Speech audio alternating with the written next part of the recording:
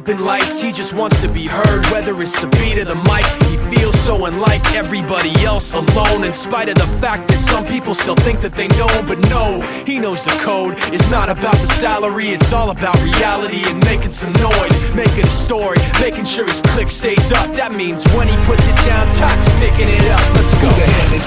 He never really talks much, never concerned with status, but still even in starstruck. Humble through opportunities given despite the fact that many misjudge him cause he makes a living from writing raps. Put it together himself, now the picture connects. Never asking for someone's help or to get some respect. He's only focused on what he wrote, his will is beyond reach. And now it all unfolds, the skill of an artist. This is 20% skill, 80% fear, be 100% clear, cause Ryu was ill. Who would've thought he'd be the one that set the West in flames? And I heard him wreck it with the crystal method, name of the game. Came back, dropped Megadeth, took him to church. I like Bleach, man. Why you had the stupidest verse, dude is the truth. Now everybody giving them guest spots and stocks through the roof. I heard he f***ing with that This is 10% luck, 20% skill, 15%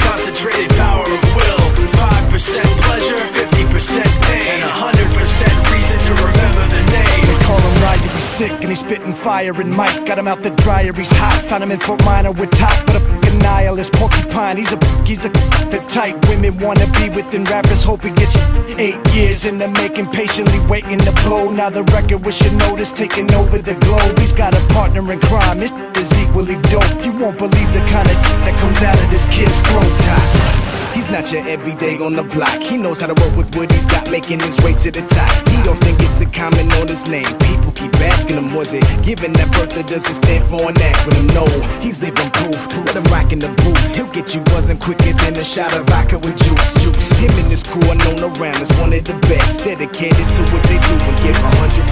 Forget Mike, nobody really knows how or why he works so hard. It seems like he's never got time because he writes every note he writes every line. And I've seen him at work when that light goes on in his mind. It's like a design is written in his head every time before he even touches a key or speaks in a rhyme. And those other fellas he runs with, the kids that he signed, ridiculous without even trying. How do they do it? This is 10% luck, 20% skill, 15% concentrated power of will,